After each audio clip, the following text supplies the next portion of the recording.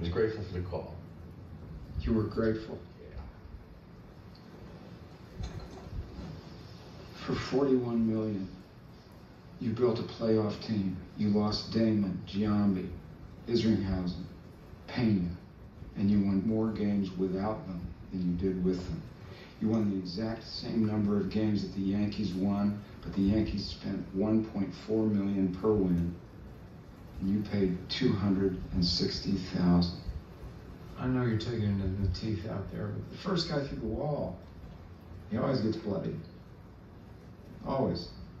This is threatening not just a way of doing business, but it's, but in their minds it's threatening the game. But really, what it's threatening is their livelihood. It's threatening their jobs. It's threatening the way that they do things. And every time that happens, whether it's a government or a way of doing business or whatever it is, the people who are holding the reins, you know, their hands on the switch, they go batshit crazy. I mean, anybody who's not tearing their team down right now and rebuilding it using your model, they're dinosaurs. They'll be sitting on their ass on the sofa in October watching the Boston Red Sox win the World Series.